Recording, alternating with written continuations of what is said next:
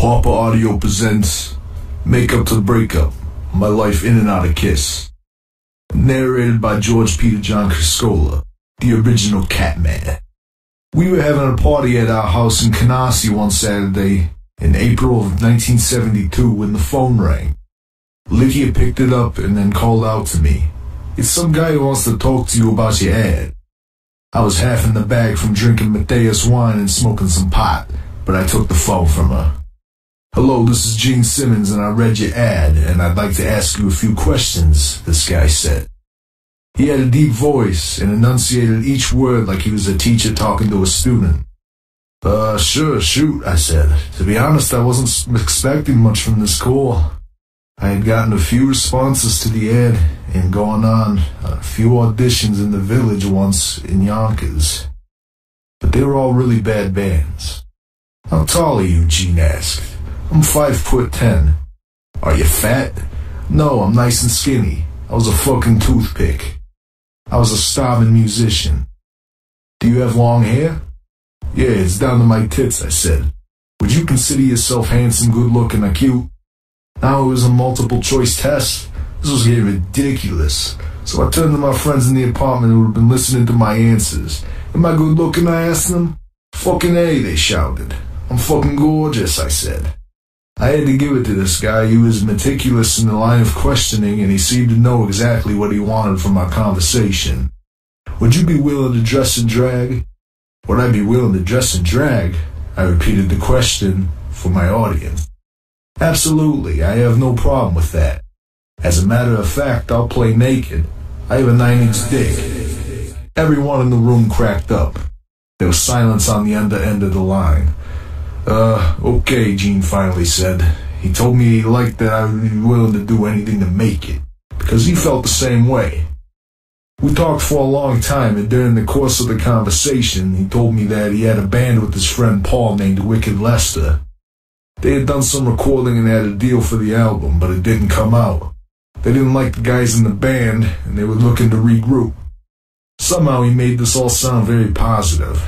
When he told me that his producer was Ron Johnson, I got intrigued. Ron Johnson was the engineer on my Chelsea album, and when he asked if I can come meet him and Paul at Electric Lady Studios in the village where they had recorded, I was floored. That was the studio Hendrix had on. Now I really wanted to meet this guy who'd been asking me all these ridiculous questions on the phone. A few days later, I put on my black and gold velvet jacket along with gold satin pants, an emerald green ruffled shirt, and green and burgundy suede shoes I had picked up in Spain. My hair was teased up in an afro. I was the shit. I took the train to the village with my brother Joey, who came along for more support. We got to 8th Street a little early, so we stopped into Shakespeare for a few beers. Then I left Joey at the bar and walked over to Electric Lady, as I was about to go in, I looked over my shoulder and two, saw two guys leaning on a car. They were really nondescript. Both of them had long hair and were wearing flowered hippie paisley shirts. They were staring at me as I rang the bell and went downstairs to the studio. I went up to the receptionist. Is there Gene Simmons and Paul Stanley here? Yeah, they're waiting right outside, she said. I went back outside and sure enough, there were the two guys leaning against the car. Immediately I thought, this fucking guy put me through the ringer about looking cool? These guys look like two fucking hippie panhandlers.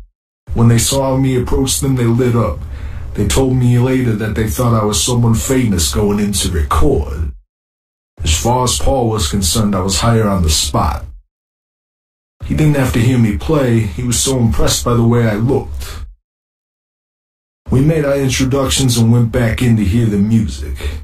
I couldn't believe I was in Hendrix's studio. It still had the curved walls, that alien spaceship feel to it. We went into one of the rooms and there was Ron Johnson, my old engineer from my Chelsea days. Wow, Peter, what are you doing here? he said. We gave each other a hug and I told him that I was being considered for Wicked Lester. You don't even have to audition him, Ron told Gene and Paul. This is your guy. He's the shit. They seemed to like the sound of that.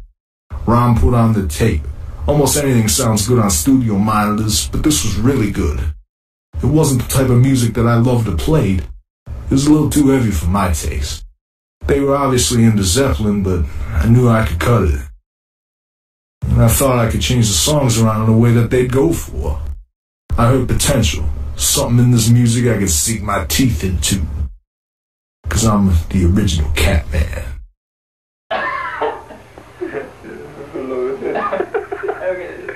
Got it. You got one big bush.